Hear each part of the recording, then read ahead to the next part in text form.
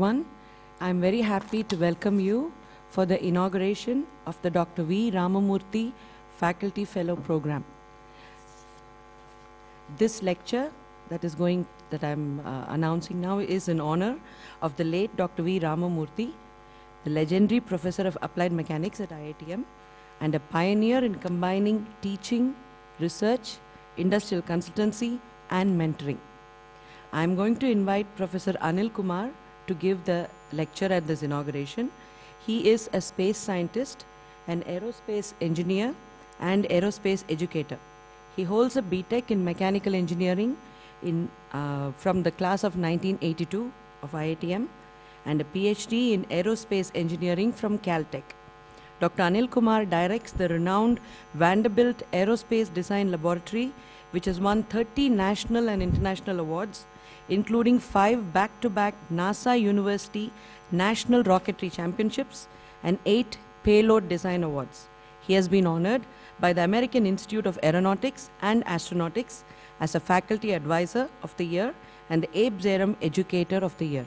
I'd like to now invite Dr. Anil Kumar to give the inaugural lecture. Good evening, everybody. I think, uh, you hear me? Okay, thank you. Um, it's a great honor to uh, talk about Professor Ramurthy, and uh, several of our uh, colleagues have come forward to talk about it. And uh, we have set aside a particular time where people can will reminisce about Professor Ramurthy. I want to go about it in a slightly different way, and uh, when we get finished with the seminar, we will do the rest of the things. Um, this picture is uh, very important.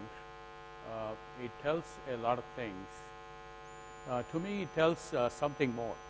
In 1983, uh, Professor Ramurthy visited us at uh, graduate school at Caltech, and he stayed with us. We cooked food for him, and he always likes home cooked food and things like that. And we stayed up late into the night, and I could say that professor was very happy.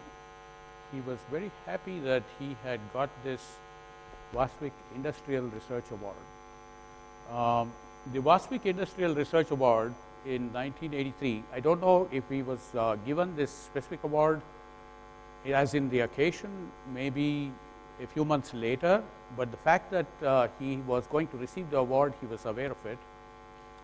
And uh, the happiness that he expressed at that particular time is something that I cannot capture in uh, words, but uh, it, I was there. I witnessed that, and he felt that the work he was doing was for the first time appreciated on a national stage.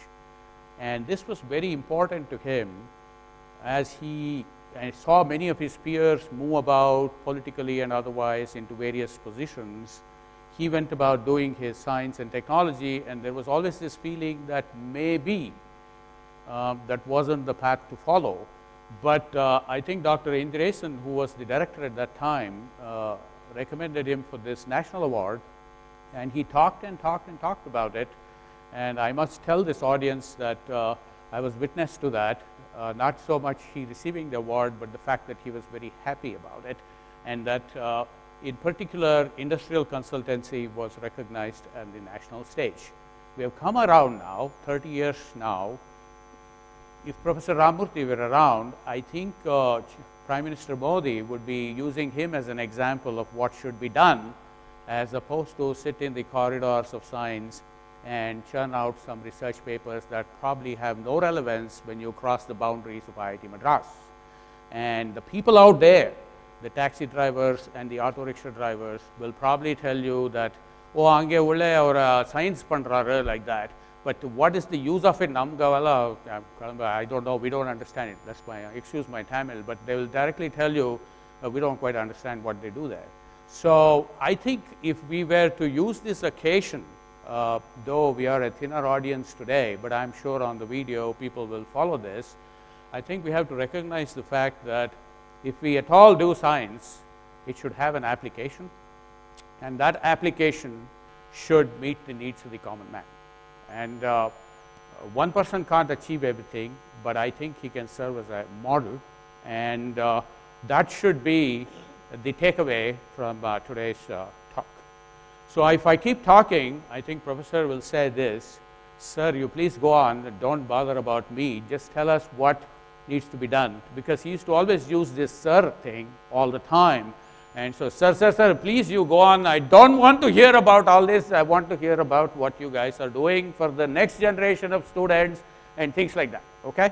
So, with permission from Professor Ramamurthi, I'm going to use this occasion to uh, talk about where we should be heading because uh, you keep hearing about the fact that IIT Madras was not recognized as a center for excellence by the government and that we were therefore not receiving some X amount of money.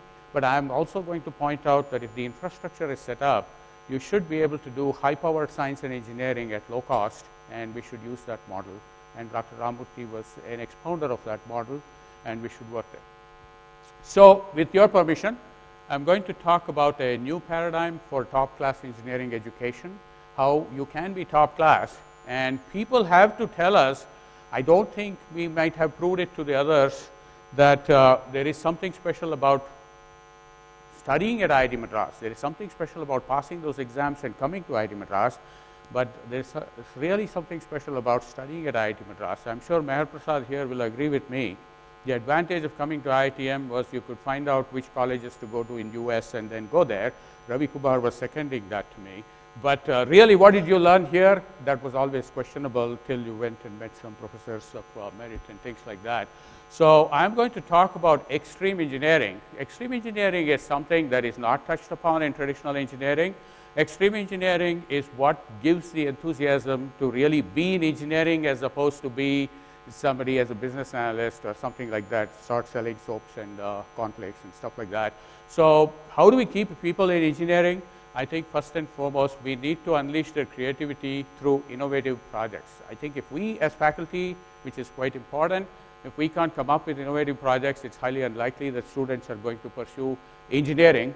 And to do innovative projects, you need to do some extreme engineering, and that way they can connect up the dots. We need to build a community of dedicated problem solvers that combines bachelor's, master's, and PhD students. Now, there is this big feeling that uh, PhD students are designed to do certain classes of problems, master students are designed to do certain other classes of problems, and bachelor students are here as window decoration and things like that. But really speaking, some of the best analytical minds may be at the bachelor's level and you need to put them in with the masters and the PhD students so you can solve a problem because real problem does not have a set standard. There is nothing like a bachelor's level solution. There's nothing like a master's level solution. There's nothing like a PhD. There's only one solution and that's the right solution and you need to work towards it. You need to work on the complete cycle. If you are going to do design, and if all design is in terms of some graphs that you need to pull out some numbers and some variables that you need to identify, I think you lost the plot. You need to be able to take fundamental science, do the engineering analysis, and then reach the technological deliverables because only then you would have convinced people that there is reason to do science and only then you would have found a way to use science to arrive at technology. Um, you need to recognize that there will be setbacks. Uh, you as in anybody including students, but since this is thin on students, I'm going to say faculty at this point. Uh, I think working towards absolute perfection, I think this is a problem we have as a society itself. We don't do anything that is absolutely perfect. And uh, the net result of that is imperfect things that will give up at some stage or the other, if not in the right way, but at some stage down the road. Absolute perfection is something that is not only at an individual level, it has to come at a group level and a product level and things like that safety has to be kept in focus because if it is an unsafe scenario, then it could lead to a scenario where you wouldn't pursue this kind of engineering in the future and run away from it. So I am going to talk about world-class engineering. I'm going to use the excuse about introducing the kind of work we do at low cost and uh, put this sticker on it, but I'll leave the audience to figure whether that is truly world-class. But what is world-class engineering? I'm not talking about world-class science. I'm not talking about the detection of gravity waves or the God particle or anything like that. I'm talking about engineering. World-class engineering to me means designing a system or an equipment that technically solves a problem that is useful for all humanity, and that I call engineering. yes, you have to do science. Gravity waves is one such thing that makes human presence interesting to understand and everything else. But the people on the street are asking, so how is this engineering useful for me? So I have to give examples of world-class engineering. And I'm going to start with these two satellites called the GRACE satellites that have been put up by NASA. These are two satellites that are orbiting around the Earth on a separate orbit. So depending on the mass density of the Earth at different locations, the gravitational pull changes locally, and therefore the speed of the spacecraft to stay in that orbit changes. So you have two spacecraft separated by about 200 kilometers and using 10 gigahertz microwaves, uh, basically radar, to uh, learn the distance or estimate the distance between the satellites. So indirectly, the distance between the satellites is a measure of the local gravity level because if the first satellite goes into a higher gravity zone, then it's going to be pulled away. So the distance changes. And then the second satellite, when it comes in, the distance again, they come back together. So uh, understanding this distance with the precision of one micron, you can actually measure the changes in the gravity level at a location. So what is the implication of that? If you're pulling groundwater away, then over a period of a year or so, it can tell you how much of the groundwater have you depleted. It can also tell you about the speed of the movement of the water and things like that. And the amazing point is in North India, in the aquifers, literally about a foot of groundwater is being depleted due to irrigation every year, and it is not being supplemented. And let's watch this, and I'm going to stay quiet because this is a good video to watch, and uh, we'll go from there.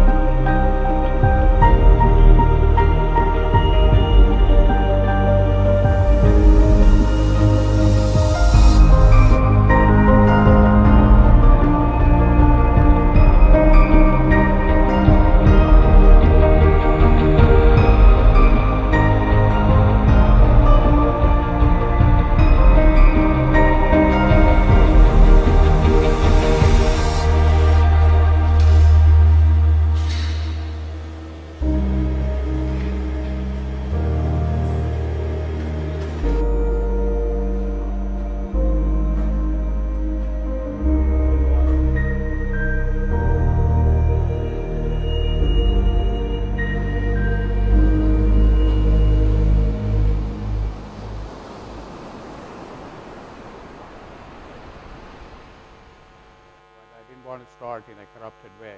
So please excuse me for running it again, but I think it was worth it. So I'm calling this world-class engineering conducted by NASA Jet Propulsion Laboratory at the California Institute of Technology, designing satellites that are about $100 million plus, but working for mankind, looking at water levels, what a high quality experiment, what a high precision engineering required to actually say that about a foot of water is being removed from the aquifers in all of North India due to irrigation. Imagine the science, but imagine the engineering that with precision that you can point out that this is what is happening and what do we need to do that is left for each nation and people to decide what they need to do.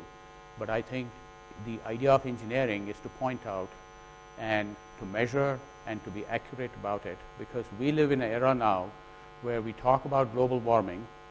The effects are there to see, but careful measurements that can actually point out the effects are the first step towards resolution. I think let's start there. I think immediately the word comes, what is the kind of world-class engineering that I'm talking about and what MIT is doing. So let's cut the chase and get to where, where MIT is at this point. Uh, what do students at MIT do? Let's get, take a look at the dynamic locomotion robot at MIT.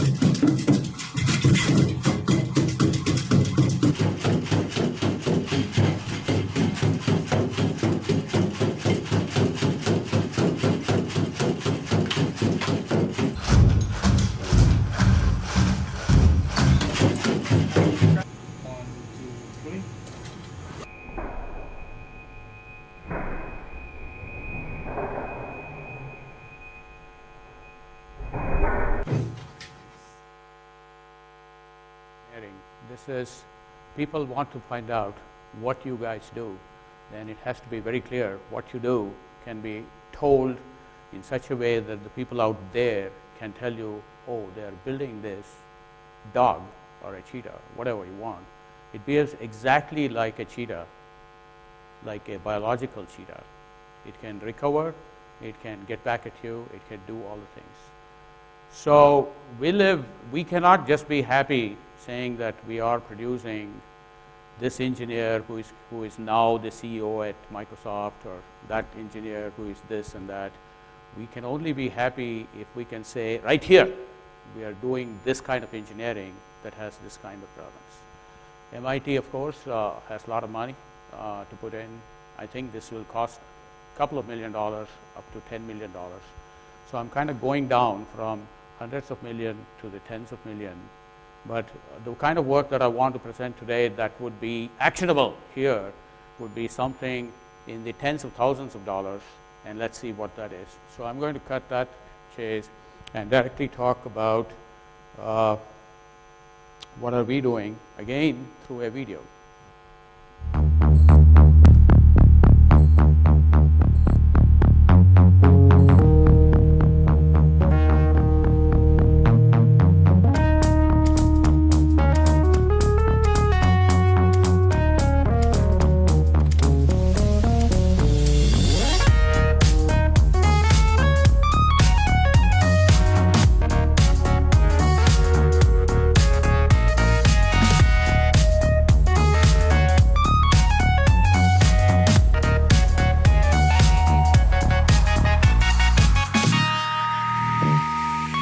Launch five,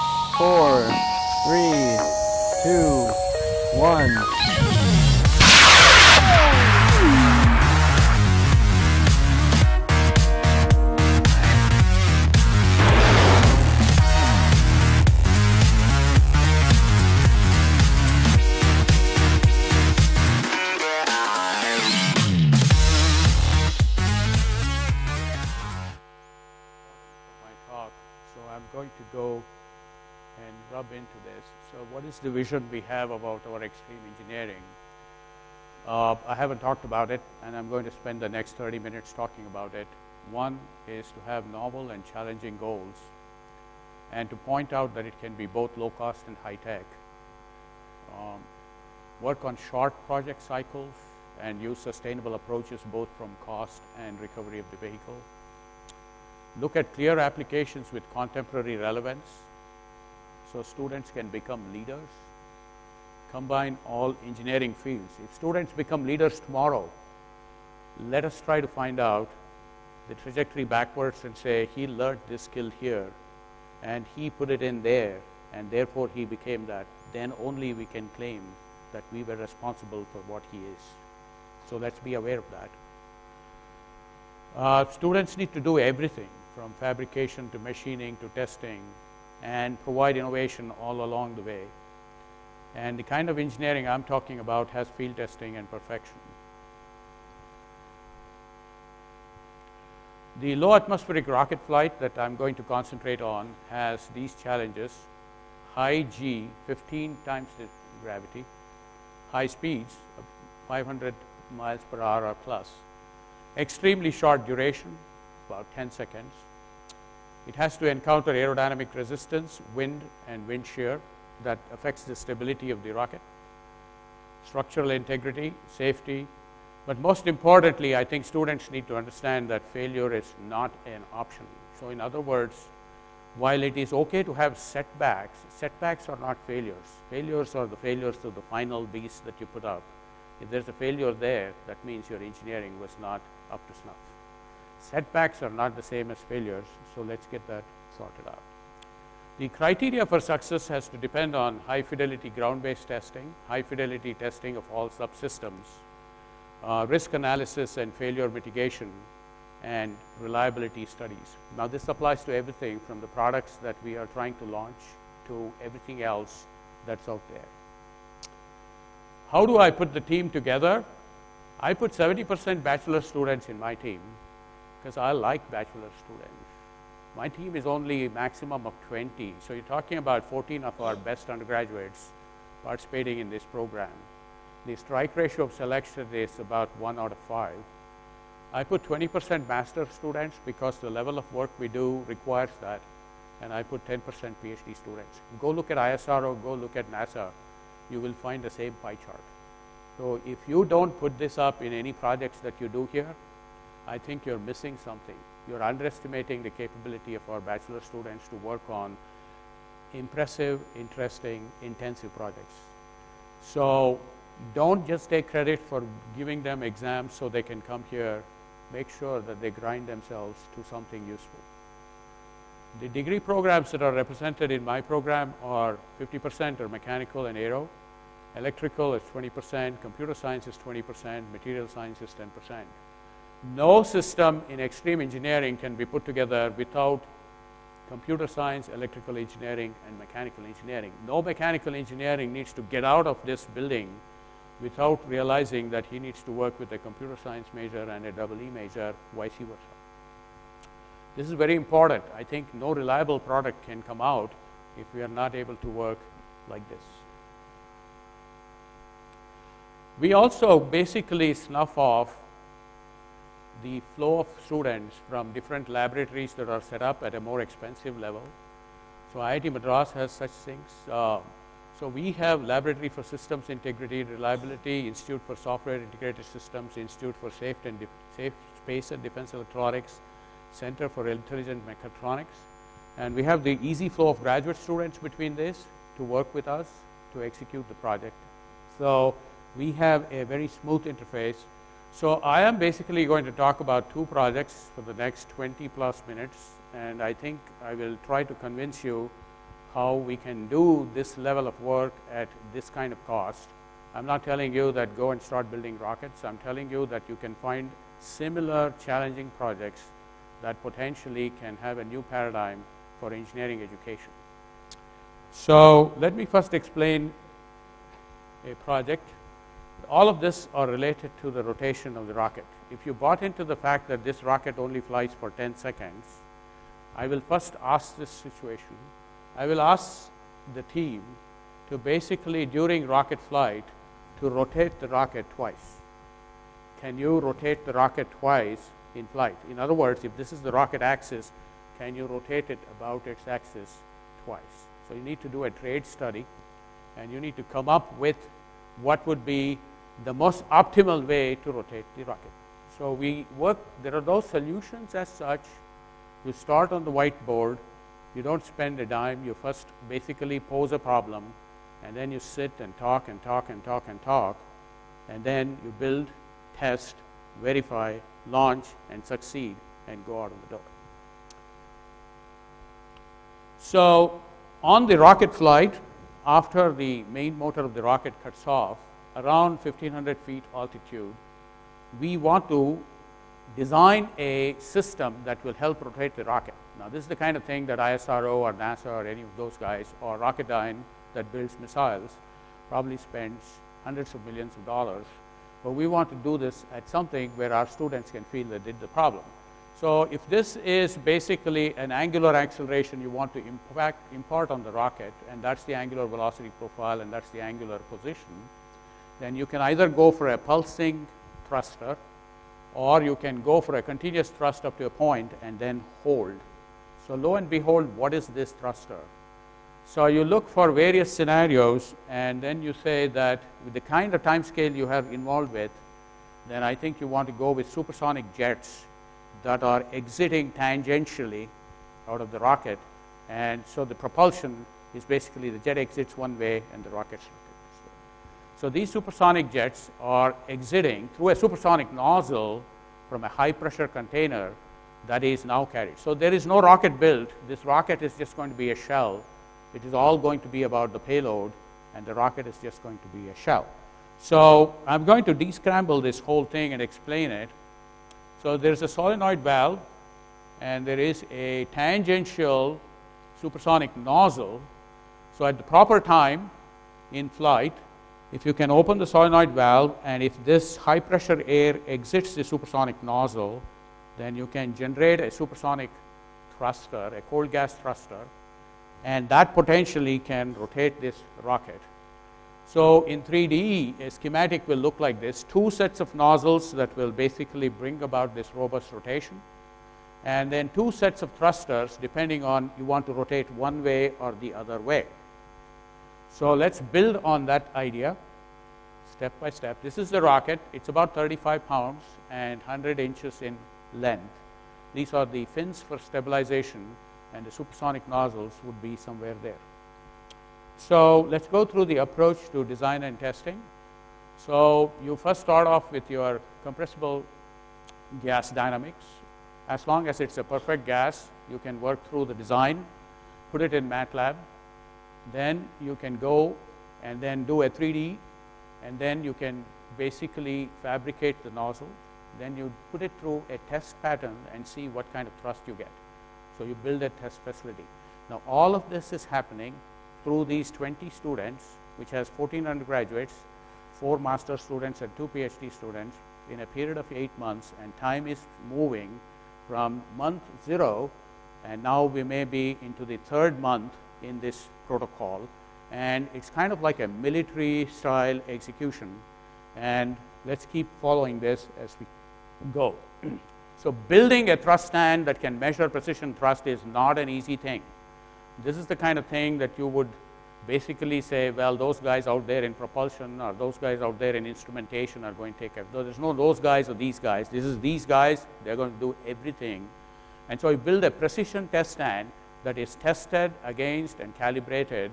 And this is the thrust profile we are looking for, a 5 Newton thrust from a 500 psi upstream depressurization across a supersonic nozzle from a 5000 psi air tank. So we do the safety analysis as we go along and make sure at no point, even if we have a failure in the return of the vehicle, is this going, tank going to blow up and create a hazard and things like that.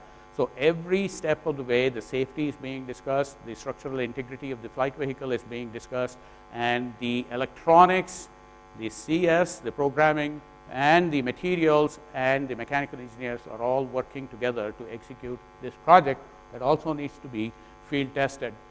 Flight analytics involves computational fluid dynamics, looking at the velocity and pressure contours, and then basically doing your 2D analytics using your dynamical Lagrange equations of flight and basically arriving at what kind of an apogee to be expected at certain side winds and things like that.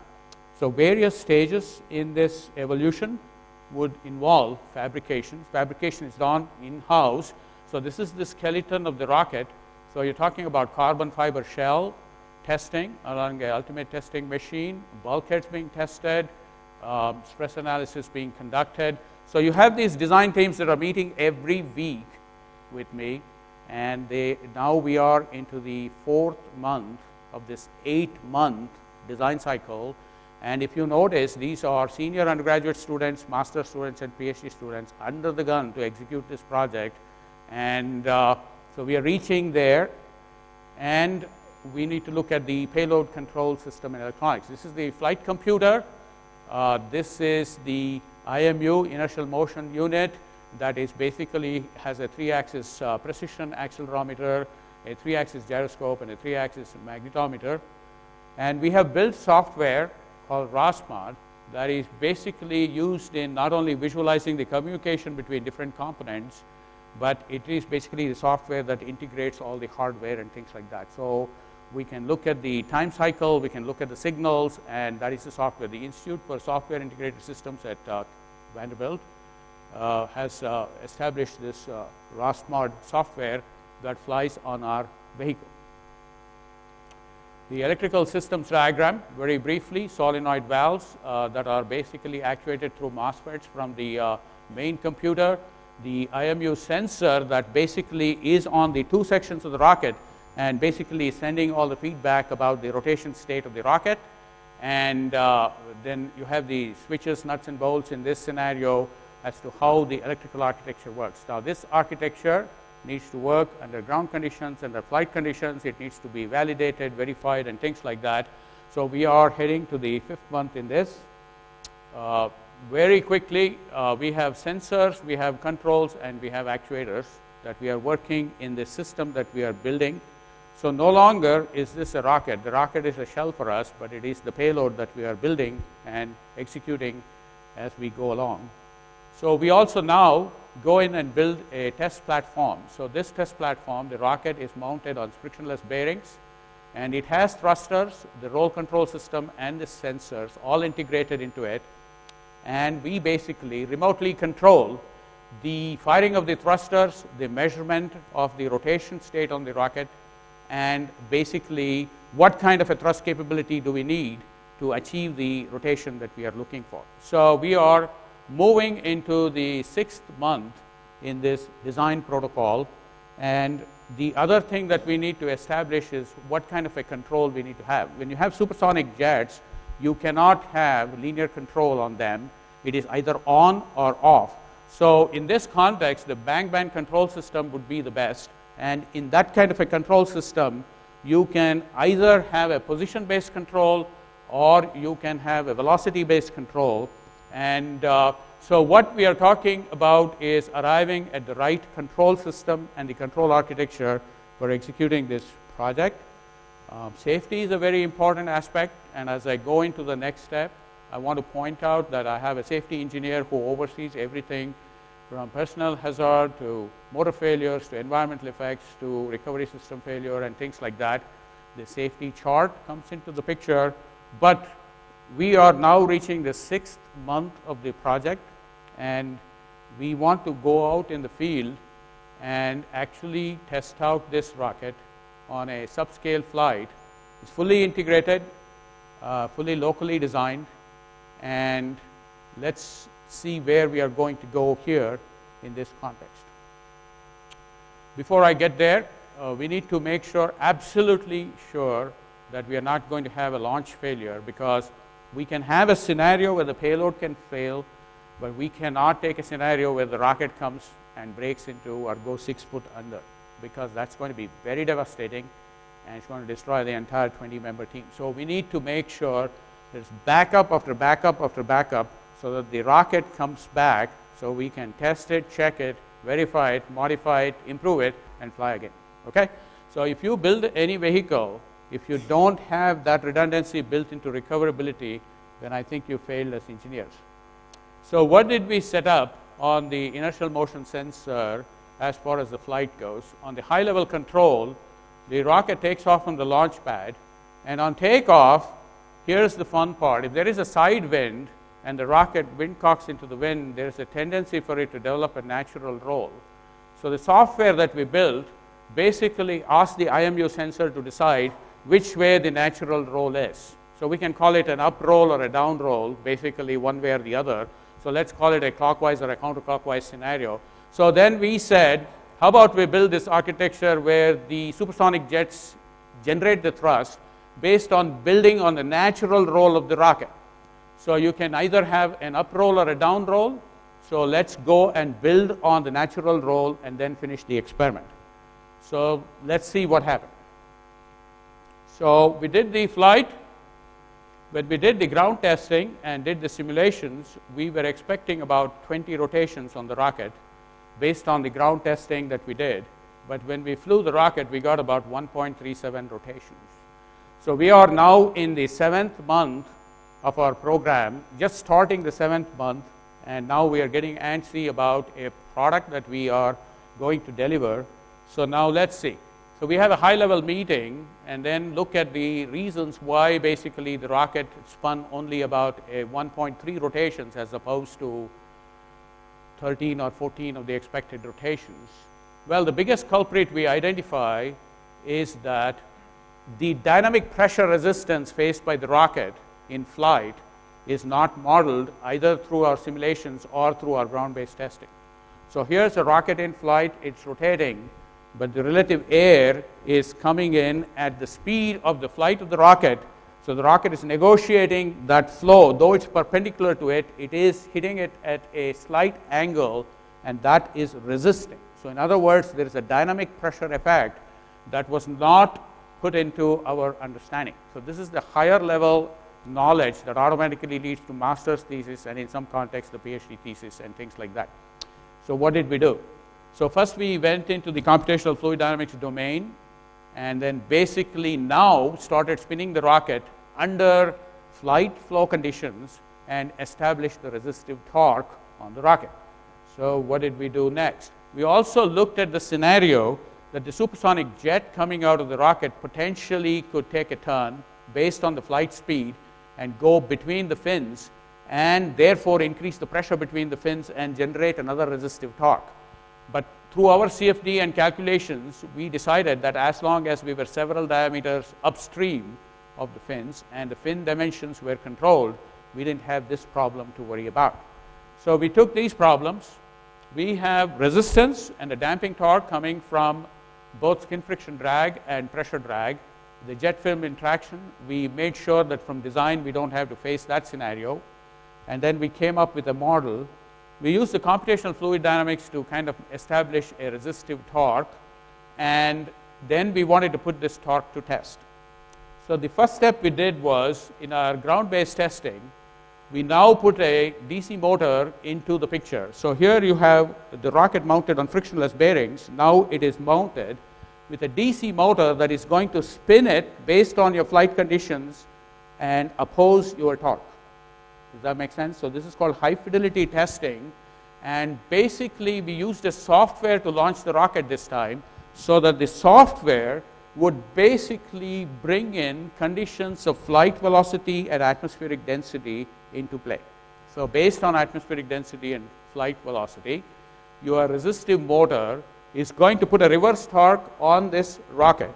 So you can kind of simulate flight conditions. Now, if you go to Raytheon, they have triple axis flight simulators that have run into hundreds of millions of dollars. And I'm telling you, we work with $20,000 and we are very innovative and we are able to do this not at the 100% quality that we need to, but at 95% and above precision. And I would say, uh, I'll leave you to say it's great. Okay, so here we have now integrated for ground-based testing thrusters, an IMU sensor, a torque that puts a reverse, a motor that puts a reverse torque on it, motor controller, roll control system, and then a flight simulator.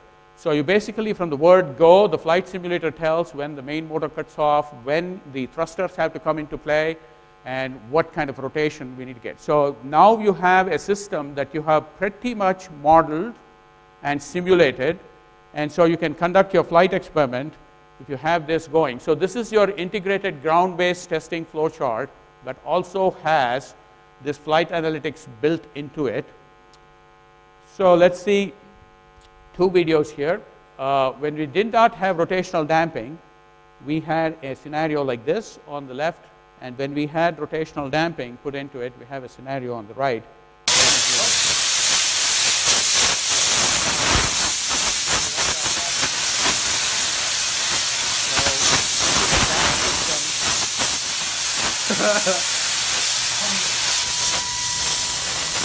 So basically, supersonic jets are exiting. In an undamped scenario, you get several rotations. In a damped scenario, you have controlled rotations. So now what do you do in step two? You now go to low altitude full scale flight. So let's review. You have a high pressure tank. You have basically a gate valve, solenoid valves, and uh, basically your flight electronics, two sets of uh, thrusters, and depending on the up roll or the down roll, you're going to actuate the intelligence on the rocket flight is going to actuate one set of thrusters and get you the rotations you are looking for. So this is the rocket flight at takeoff. Okay, so this is the result we got. See, results are very important. To see the results, you need to recover the rocket. If you don't recover the rocket, your results will go six foot under. You'll have to put some sand on it and cover it up and make a prayer on it. So you got the results. So take a look at these results. The students were excited. We got two, two rotations on the rocket from the time the solid rocket motor cut off. Okay, so you look at this, you have a high power meeting, and you say, so look, if I initiated the rotation, then there is going to be a change in slope here. I don't see a change in slope. So if there is no change in slope, then my experiment did not work. Something worked. It just so happened that it was serendipitous and you got two turns of rocket rotation. So then go back and look at your tank. You look at your tank and you realize your tank is full. So that means your solenoid valve did not actuate. So if your solenoid valve did not actuate, your experiment did not run. So you don't care about this result. So what went wrong? So now I talked about extreme engineering, but if I don't tell you what went wrong, that would be wrong. So let's watch the down solenoid actuator and the up solenoid actuator, and let's see what happens. So in this case, let's briefly examine this scenario. Here is, let's call it the up roll. So if this up roll were to be accentuated to reach the two-turn scenario, then the up solenoid needed to have been actuated, and then you would have seen a change in slope here, which you don't see. So we went back and put the down solenoid to test. Down. Down. So that clicks you here is that the solenoid does actuate. And then we looked at the up solenoid. Up on. And then up off. So the solenoid does not actuate. So then we go back and check it again.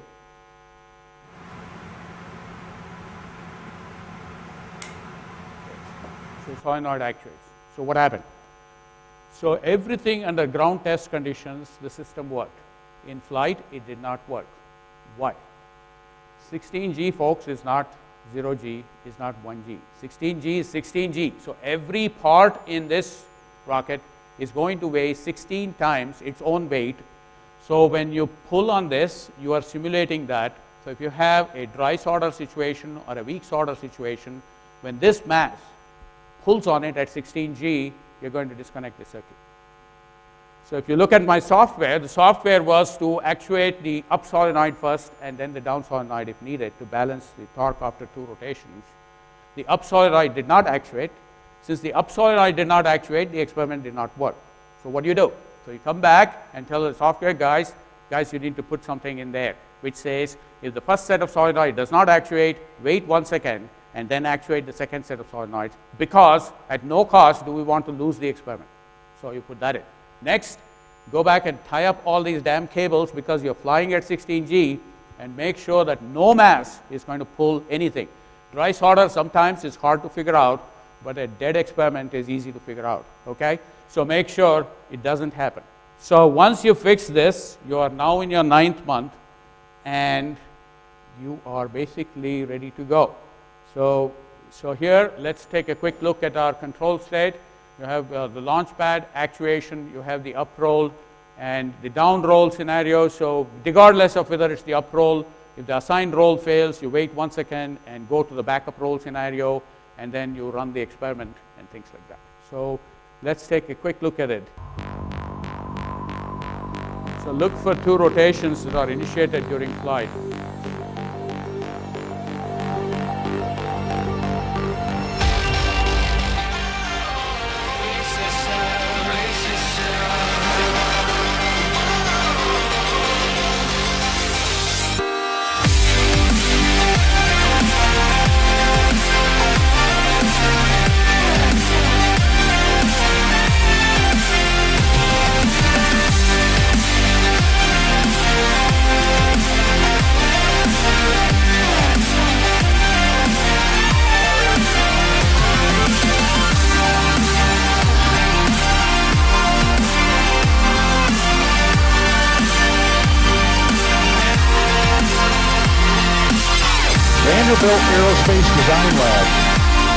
Control with gas. This is a really cool rocket, folks. You see the gas thruster control. Rocket name is High Roller on pad 62.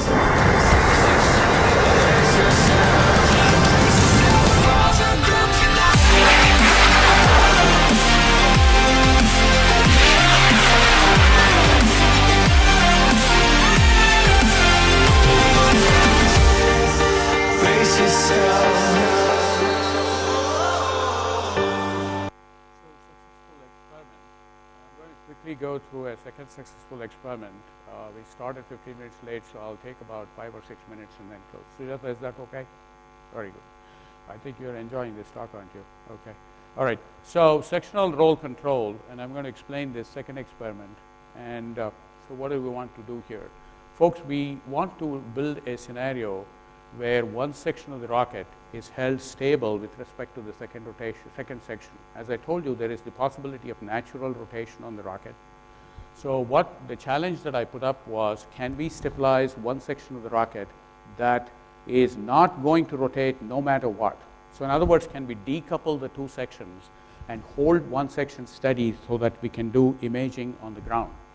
The defense counterpart of this is going to be target detection and identification. Serious issue that probably the Defense Department, even in India, would spend hundreds of millions of dollars. Folks, we do it for $20,000, and I'll tell you how we do it. Uh, this could be useful in spacecraft mating. It could be useful in payload deployment, accuracy and control, and attitude control on spacecraft. The challenge would have an imaging challenge. I'm going to speed up here because you kind of bought into what I'm talking about, and there would be an imaging challenge. CS, EE, ME working to execute a project that is an imaging project. So to do the imaging, what we are trying to do is basically not so much post-process the image and basically look for a still image, but actually run the imagers on a section of the rocket that is held non-rotational. So this is the challenge.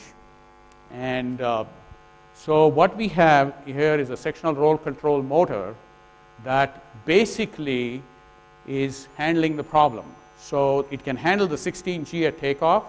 The sectional roll control motor can selectively rotate the top section with respect to the bottom or keep the top section non-rotational with respect to the bottom. And the IMU in the flight is recognizing the rotation state and developing all the parameters for flight control. And here is a good example of what we achieved at 1500 feet and 4500 feet, the same still thing. And I'm going to show that through a video So the challenge here is the rocket is flying straight. There is natural rotation on it. One section is made irrotational during the six or seven seconds of play. And uh, this is the rocket, about uh, 36 pounds again and 85 inches. These are the imaging cameras that are looking down. Um, this is the thrust uh, bearing uh, that is going to separate the two sections and is going to be able to handle the 16G at launch. Uh, this is the control system as such. The basically you have the IMU based control and the ROSMOD software that we are running on this device. The BeagleBone black is our flight computer. We have backup flight computers to execute the experiment. We look at the motor rotation state and control this section.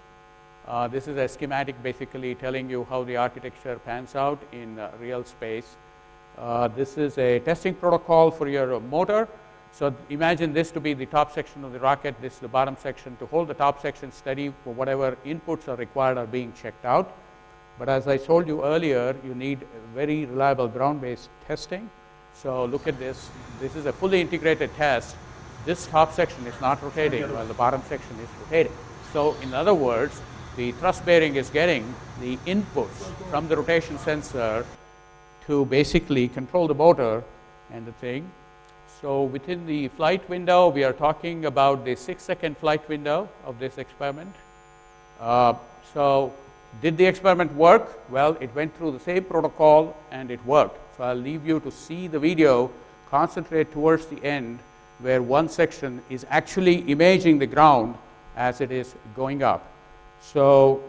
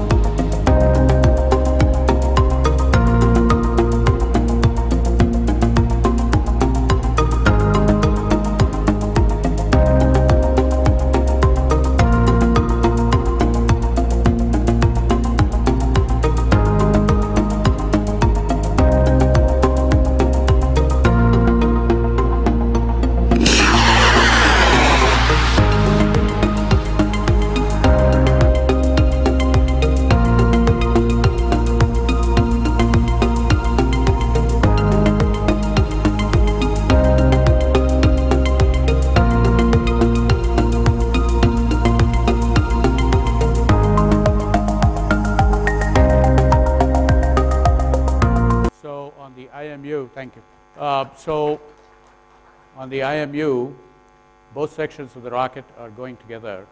At the main engine cutoff, one section just is stabilized to plus minus two degrees all through the flight. The bottom section is rolling. That's what you saw. So basically, folks, if you do any research or development, include bachelor's, master's, and PhD students. Folks, you can get back the kind of research work you need to do and generate the kind of students you need to produce to become leaders. There's a lot of talk, and I saw this on news uh, runs on Google, that IITM wants to do defense research. It's very good. The Prime Minister is looking for Make in India. I think the first thing we want to make in India is defense related products because you're literally pouring billions of dollars buying equipment. But look, you need to first use science to do engineering and then do technology. You can't just sit there and then start scratching your heads and saying that I'm going to build technology. No technology can be developed without understanding every aspect of flight. There is fundamentals to the complex. All people need to work together as a team. And you need to get that teamwork together. You can't just put postdocs on a project or something. You just need to build a family of computer science, electrical and mechanical engineers to tackle the problem. And then only people outside the gate are going to say, these guys are able to do this for us at such a low cost. And this, I think Professor Ramamurthi would approve. And I'm going to not boast about these slides, the kind of awards, because Sujata already talked about it. The only thing I'm going to say is we work with $20,000 annual budget. Uh, 15 of my students are working for SpaceX. 30 of them are together working Lockheed, Raytheon, Boeing, Honeywell, Rolls-Royce. They're all engineers. They've all stayed in engineering. They're not going to do business analysis or start selling cornflakes and uh, talcum powder and stuff like that. Look, the engineering leaders of tomorrow are ones who can reason through problems without precedent and come up with solution for all time. This is what at IITM we need to do, produce engineering leaders of tomorrow. There are problems out there that have solutions, and I try to talk about this one particular problem, the use of radars, and uh, basically to look at the signature and therefore assess a child crossing the bus. The use of radar detectors and underbus sensors can prevent a child accidentally crossing the bus so if you have a audio display or a visual display for the driver, he can prevent. No mother in India should worry about a child getting off the school bus and not coming home, but run over by the school bus. This has happened, folks. This has happened at IIT Madras too. So if these are the kind of solutions we need to be looking for, solutions exist here, but still Indianizing this solution is not easy. It is very complicated. So what would Professor Ramamurthi say? I think Professor Ramamurthi would say, do passionate work, do innovative work, do societally relevant work, the results will come. Don't chase after the results, the results will come. Don't go advertising the results, the results will come. I think the results will come when the guy on the street out there says he knows what you guys are doing. I think the wordings from the Gita are best left unread, but I think even Professor Kalam would agree that that's universal wisdom for all of us. Thank you very much.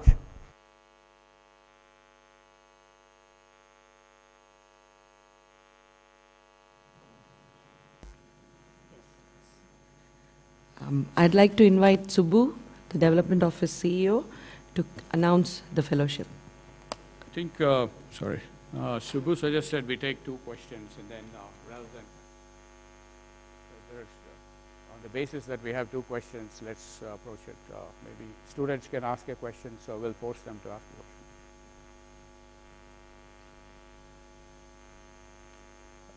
Yeah, Sujata, yeah.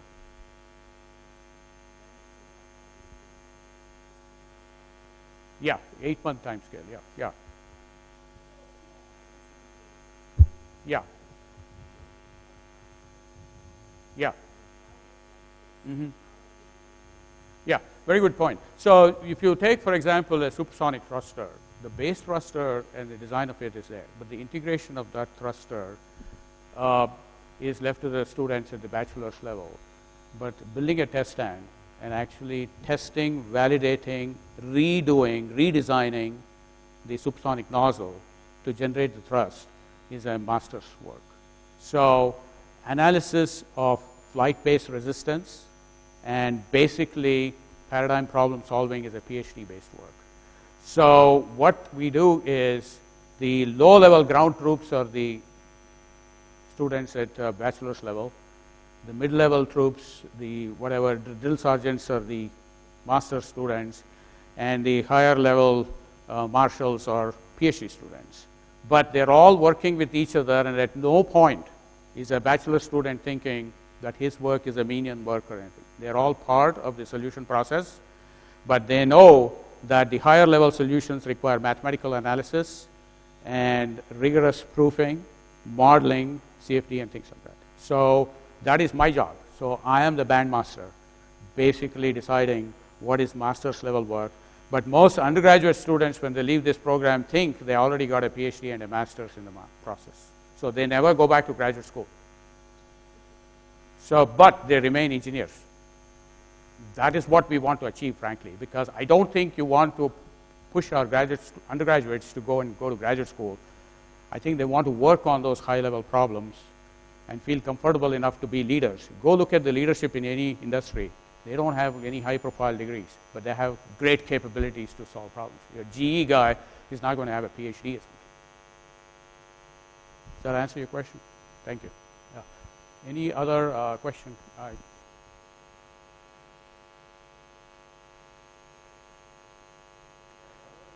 Yeah. What's that? Ego clash.